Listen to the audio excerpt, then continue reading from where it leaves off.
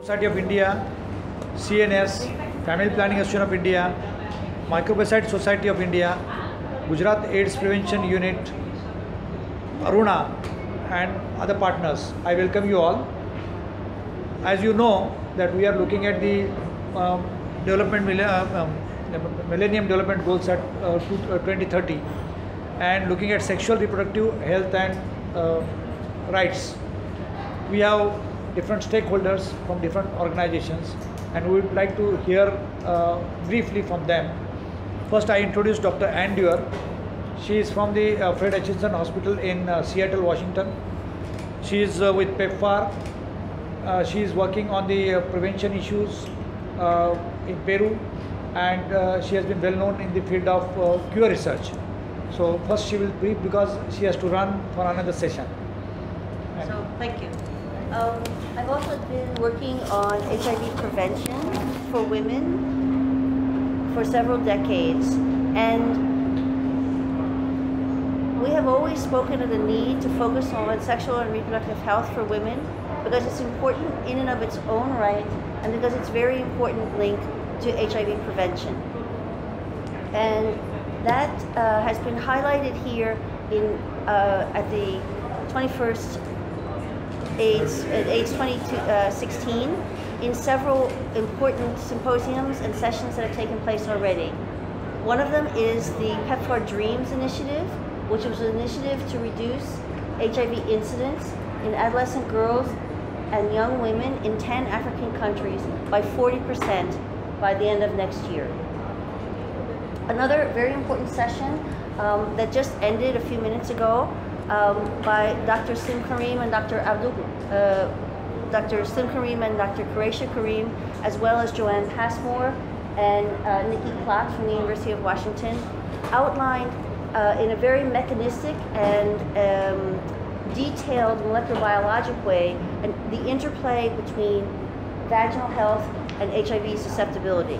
We've known for a long time that bacterial vaginosis, which is a, a perturbation of the vaginal microbiota, is linked to HIV susceptibility.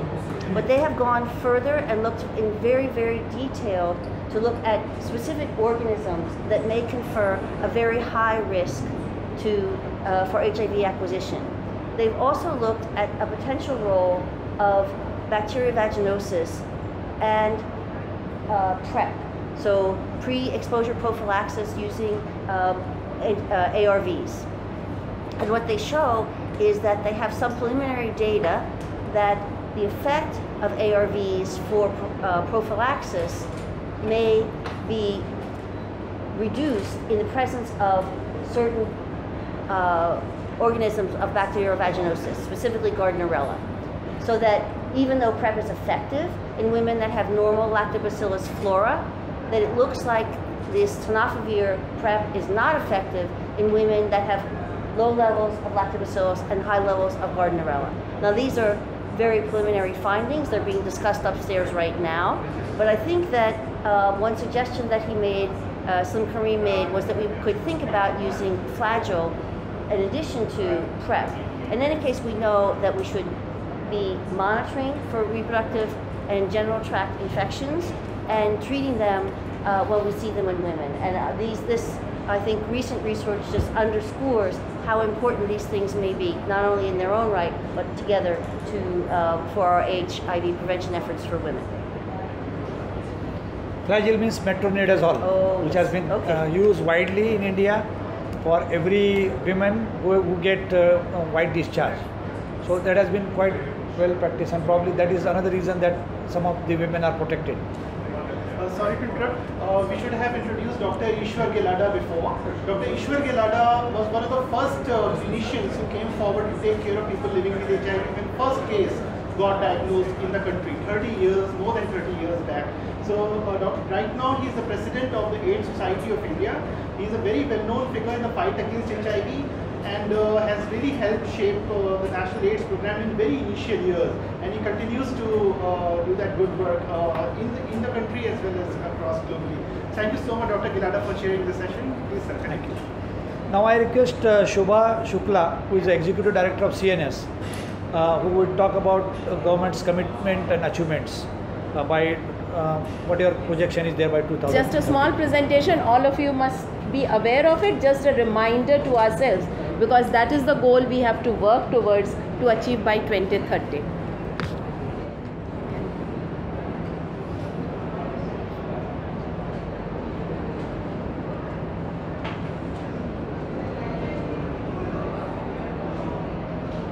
So there are we our governments have committed to achieve SDGs by 2030 and what is that meaning for sexual and reproductive health and rights? What are the issues? Some of the goals I have listed there. One is important thing is connecting the dots between global goals and local actions. We are talking globally but the uh, the work has to begin on the ground maybe starting from our own family going on to the city then going on to the national level and then the international level. Next please. So we know that uh, the sustainable development goals we have 17 of them and 169 targets with 159 gen- generally agreed indicators. And they seek to realize the human rights of all and to achieve gender equality and empowerment of women they are integrated in the sense they talk of social economic and environmental balance in whatever we are doing and uh, you must be so familiar with this slide which has been used over and over again since september 2015 when the goals were adopted Next. now what are SRHR issues? They embrace human rights and include the right to equality, equal protection of the law, and freedom from all forms of discrimination based on sex, sexua- sexuality, or gender. I have listed some targets of goals 2 and 3. Goal 2.1 says by 2030 end hunger and ensure access by all people, in particular the poor, including infants, to safe, nutritious, and sufficient food all the year round. 2.2 says end all forms of malnutrition, achieving by 2025 internationally agreed targets on stunting and wasting in children under 5 years of age and address nutritional needs of adolescent girls, pregnant and lactating women and older persons. 3.1 says reduce global maternal mortality ratio to less than 70 per 100,000 live births. The current figure is 216. By 2030 also end preventable deaths of newborns and children under 5 years of age to at least as low as 12 per 1000 live births. The current figure is 32 per 1000 live births.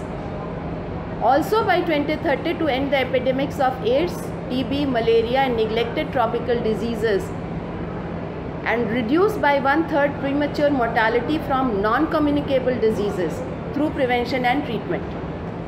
Ensure universal access to sexual and reproductive health care services including for family planning, information and education, and integration of reproductive health into national strategies and programs, and this we should not forget.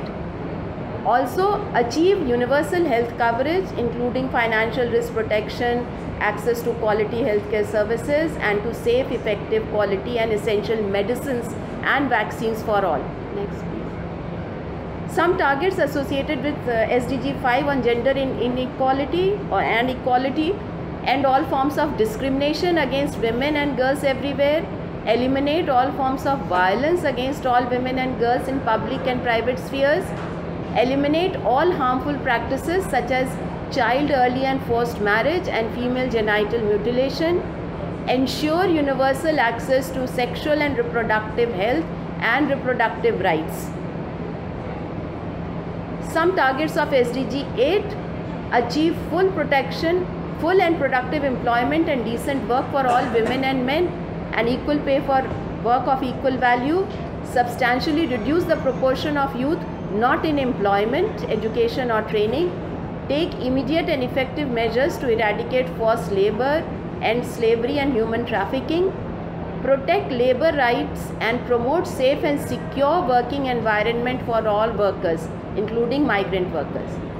And one important fact I would like to stress upon is ensuring free trade which should not be at the cost of SRHR. And I do firmly, all of us I think believe that free trade should not be at the cost of compromising SRHR issues, which includes ensuring uninterrupted access to essential and affordable medicines for all those in need of it. Thank you very much. And now we have others to take over from here. Thanks, Sumaji. Uh, now we have Clare Collins. Yes. Clare Collins is Associate Director of Microbicide Trials Network, USA. She is going to speak on what new prevention technologies are there and being developed. Thank you um, for having me. So I work for an organization that's funded by the U.S. government to do research on HIV prevention products. And I know that everyone here most likely knows about oral PrEP as Truvada.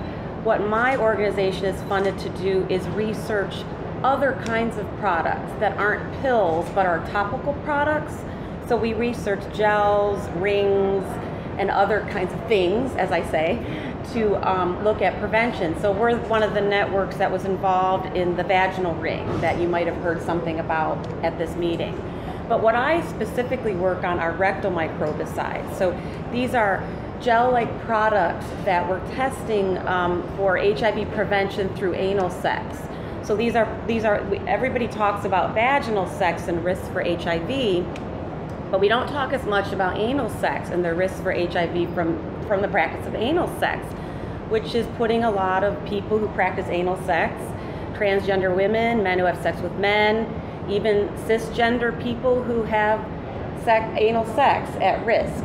And we all know that PrEP is available for HIV prevention, but some people don't may not want to take a daily pill. They might not be able to access it. So we're looking at other products. So we finished a pretty large trial um, recently, actually um, in February, that we on a rectal microbicide product that we tested in Peru, Thailand, the United States, and South Africa.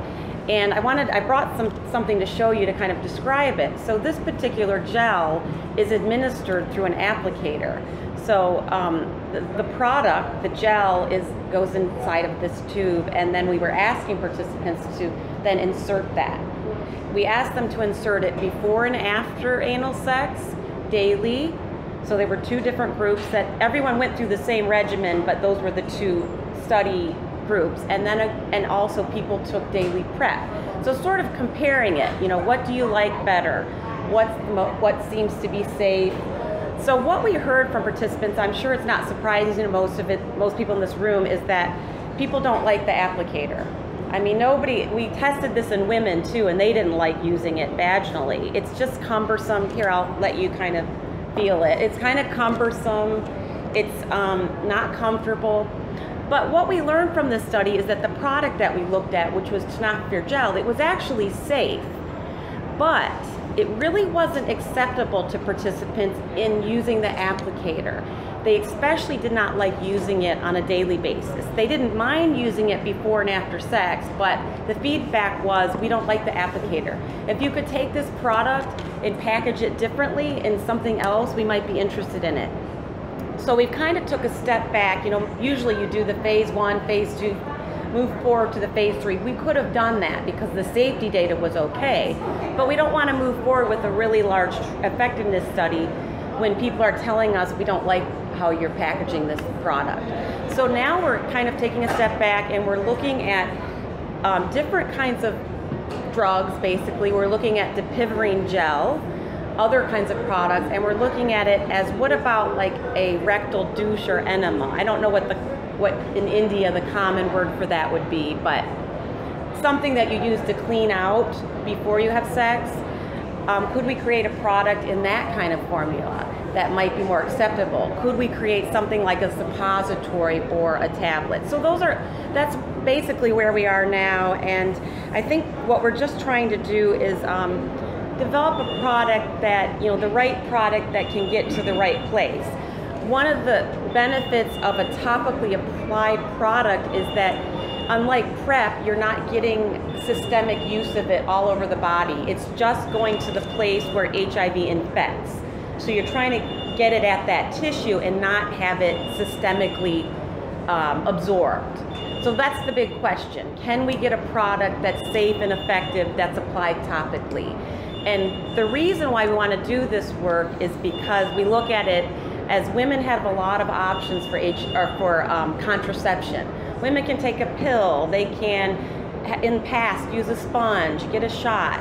So the idea is expanding this notion of HIV prevention to products that look different so that people have more options for HIV prevention. And that's really what we strive to do in our research network. We have another from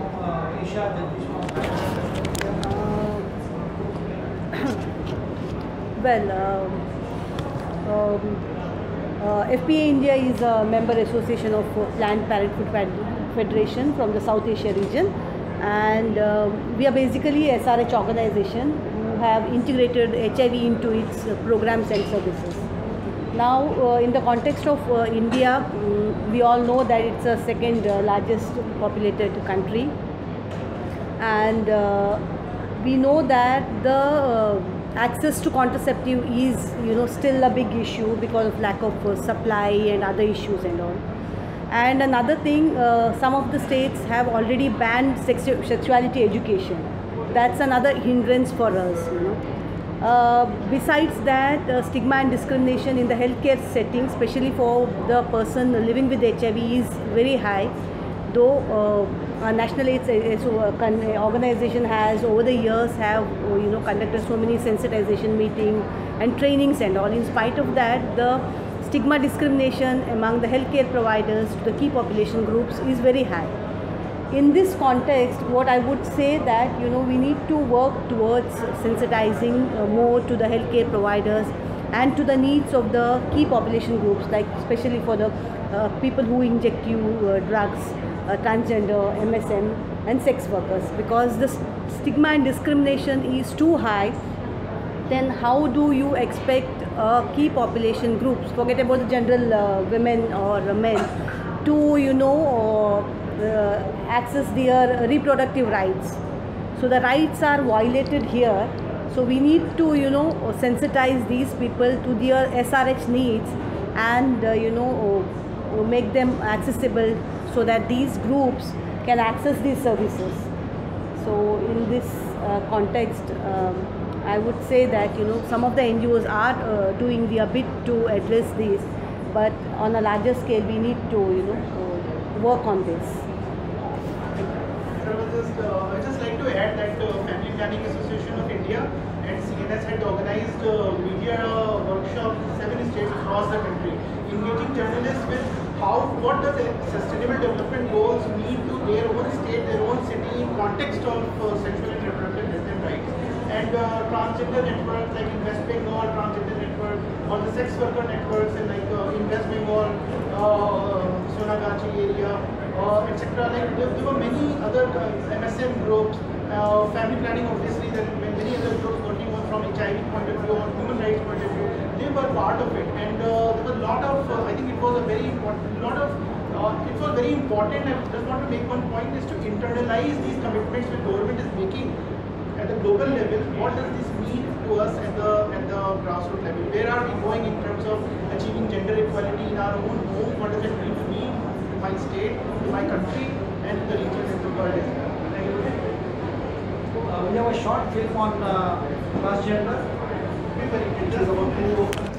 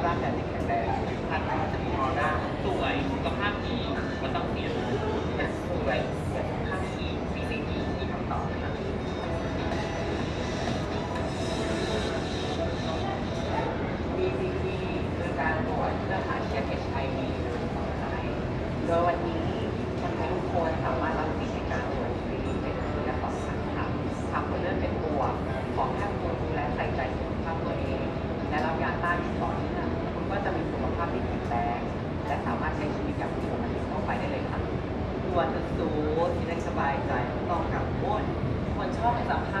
ษณ์ we hear from Simran, sexual health and rights for transgender. I don't think I should begin with this, but I, I think I should begin with a question. Going to be something unusual. Uh, sorry, but excuse me for that. My first question to Shobhaji, I really love you from bottom of my heart. Uh, the SGDs which you presented in your presentation uh, were of WHO or UNAIDS? WHO or UNAIDS? WHO. Oh, thank you.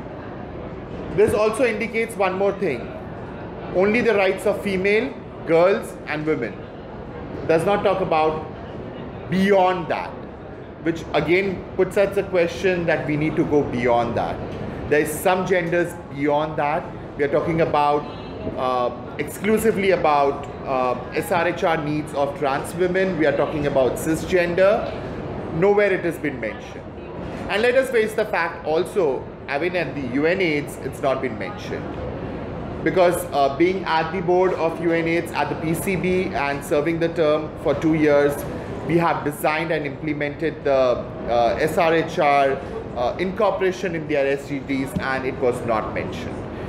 Um, of late during the HLM in, in New York, we tried to, everyone knows the history, that we tried to incorporate uh, the key population word inside and how vaguely it was incorporated um, according to them. But anyways, these are these are the separate issues. But yes, these are the issues. Unless and until we do not incorporate this, I don't think we are going to achieve the 2030 goal. First thing. Second thing is after 21 years, I mean, this is the 21st con- conference going, uh, it's been held in Durban. Uh, I, I, assume 16 years back, the conference was also held over here in Durban. After 16 years, this is the second conference, but this is the 21st conference which has been held over here. Even after 21 years, this is the first time ever that a trans people have got some space two reasons why I'm uh, saying this and making it authenticated is because the first thing, the first ever pre-conference of trans people was held this year after 21 conferences. Second thing is because out of 1000 scholarships being given by IAS, only 24 trans women have got full scholarship and it's been in the records. We have discussed it. We have told to uh, the director of IAS, and this is something really biased. This is something really biased. I don't think now uh, transgenders are not literate enough or they don't know how to present themselves at the conferences. Many of us have presented beautiful papers, many of us have presented beautiful abstracts, and we are stepping up at peace, at pass uh, with other people, but I don't know, somewhere it's been not taken up in.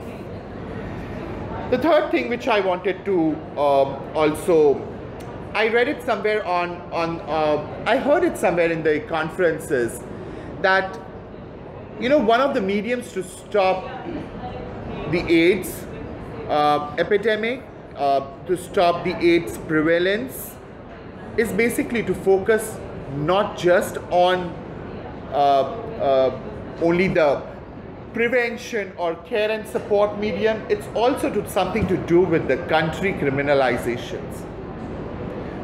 Many of the aspects are sex workers being criminalized, trans people being criminalized, homosexuality being banned. This also impacts, nobody talks about that. That's also one of the medium which we need to highlight in these conferences. Um, last but not the least, Nisha, you just mentioned about, uh, you know, the shortages of uh, and the lack of opportunity for sex education towards the interiors globally and also India. But you forgot to mention one point. In fact, the lack of condoms also. Yeah, contraceptive pills, I heard. Okay, mostly condoms. I think condoms are also I mean, when we talk about it and when we see that, the reality is also the shortfalls of condoms.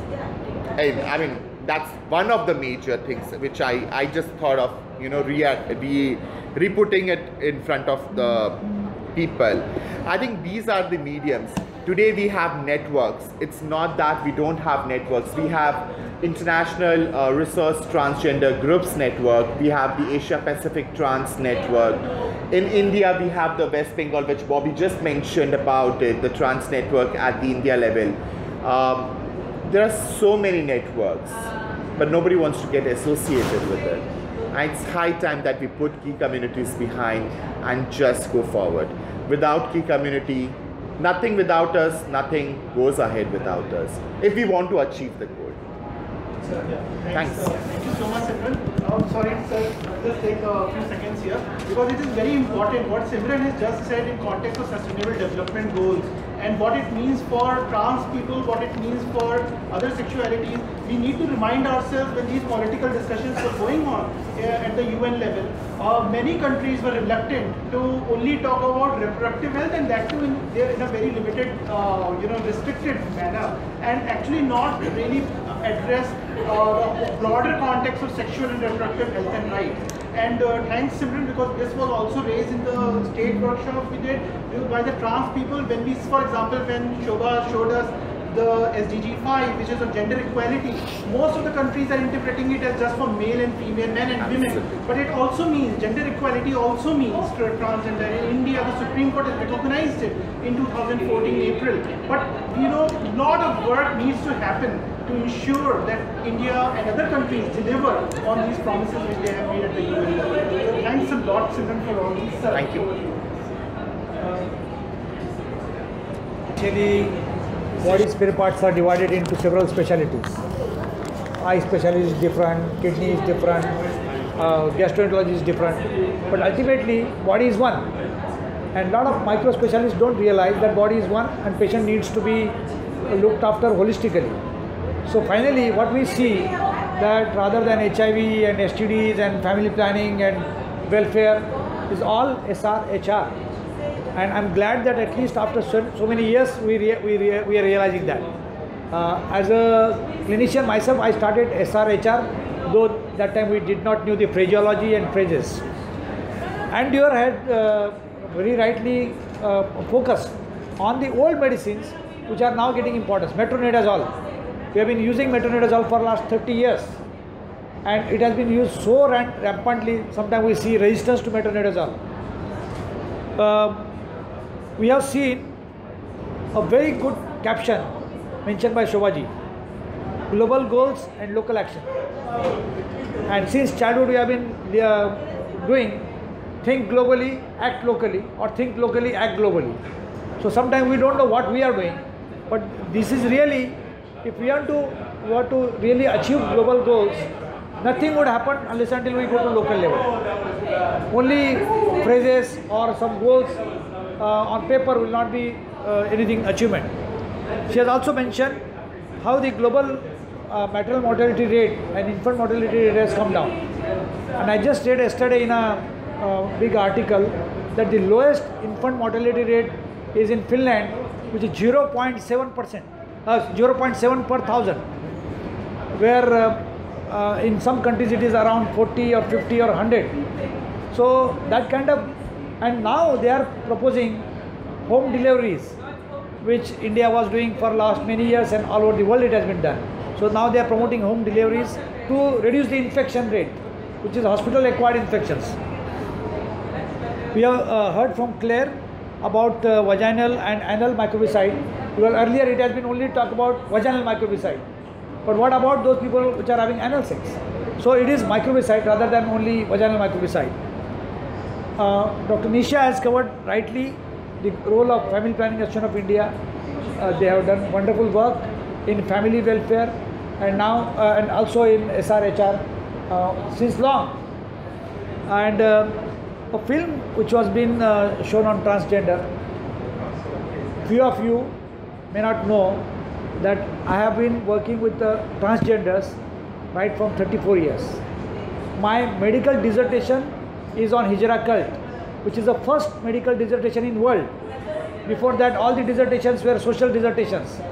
Uh, by Tata Institute of Social Science, they said we interviewed 30 Hijras and they said we are born like that. Nobody is born like that.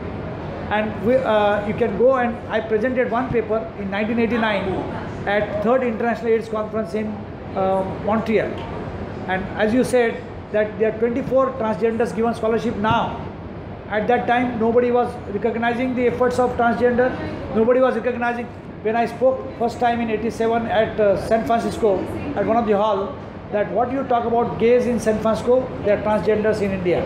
That lot of activists said, how can you talk and equate us with them? We are different. You are also same. They are also same.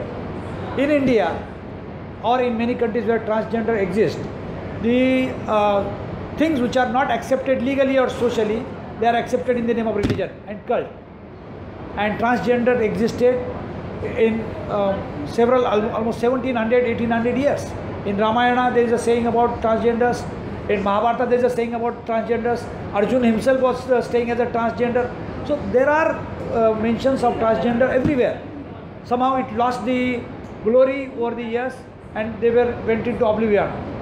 I was the first person who fought with Mr. T. N. Seshan when he was the chief election commissioner in India that they should be given election rights.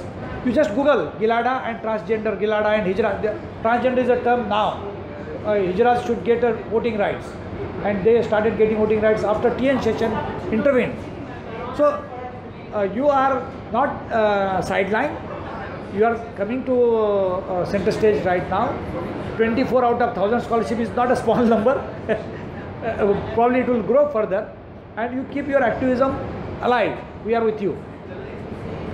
Uh, we have uh, heard from Simran, and she has, I don't know, we should say he or she, but she has highlighted the issues uh, that disproportionate uh, representation, uh, decriminalization of homosexuality and transgender sexuality, that has to be done. At some level, it has been done. Like there are laws in India, but they ignore. They are, they are not criminalized that way. So we need to fight out and see that the laws are changed. The laws were made by Britishers for a particular purpose, and that purpose is now already gone into oblivion. So we must have uh, laws to be amended. I think such kind of forum. I know it is not very well attended at such a big conference. A lot of media people are there, but Bobby does wonderful job. Your message will reach all over the world in no sooner than you expect. I am confident about Bobby and Shobhaji. Thank you. Oh, oh, sorry. I'm extremely sorry. Uh, actually, they should put everything on one paper. They they put on second paper. We have saved the best for last. Uh, we often forget SRHR uh, people from um, uh, uh, seven or now uh, they call eight sisters of India. And Abou Mere is an Asian network of positive people uh, with drugs. And uh, I had been recently to Kohima and Dimapur. I've seen what kind of affection, affectionate people are there. Uh, we uh, made a, uh, what do you call first literature on HIV in Naga language in 1988 in Mumbai. It's called AIDS Na 4 because uh, IV is like a Roman 4 and uh, Naga people use a language which is having a English dialect, English uh, alphabets. So we said AIDS Na 4. I don't know whether you have seen this. And we use uh, this kind of uh, symbol for that literature so that Naga people can connect. And we had one of the uh, uh, resource person who came from US and that time entering Nagaland we require a inner line permit and we obtained that inner line permit from home ministry and we sent that person to Nagaland and Manipur for that kind of work in 88.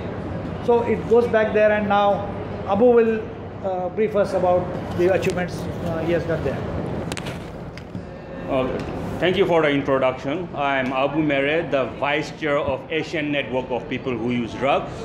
And when we say Asian Network of People Who Use Drugs, uh, people think that it's a male-dominated network of drug users. But people, when we say peoples, is include male, female, TG, MSM, or whatsoever. So all gender is included in Asian network of people who use drugs. So whoever use drug can become a member of Asian network of peop- people who use drug. And coming back to Indian contacts, I am also the chair, the president of Indian Drug Users Forum. So any Indian, be it female, male, TG or whosoever, are a drug users can become an uh, member of the Indian Drug Users Forum, but one has to be the Indian citizen. So in Indian Drug Users Forum. but out here, uh, when we talk about SR, uh, SRHR, uh, everybody needs either male, female, TGs or whatsoever needs empowerment in this subject. But however, all key population we face are we face stigma and discrimination. Not only drug users, TGs, sex workers, you name it, all the key population face stigma and discrimination.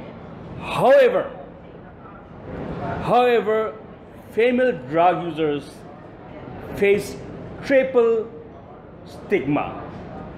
Why I'm saying triple stigma is yes, I'm I don't totally deny that we uh, drug users, female drug users, not involved in sex works. Yes, some, but not all drug users involved in sex works. Not all the drug users, female drug users are HIV positive, but the society thinks that the drug users, female drug users are sex workers, they are HIV positive or immorally, immorally loose and so on. So therefore, the female drug users are very difficult to reach. They are hidden, they are marginalized. In, therefore, uh, for other key population, this S, SRHR has already begun and they have been taught, they have been empowered. But in the case of drug users, female drug users have not got this opportunity. And this is my assumption only. But however, the donors or the implementer, the so-called NGOs or whatsoever, Uh, because female drug users are hidden and very difficult to reach, therefore it's very difficult to have an output, the indicator of impact indicators. Therefore, we are being sidelined again.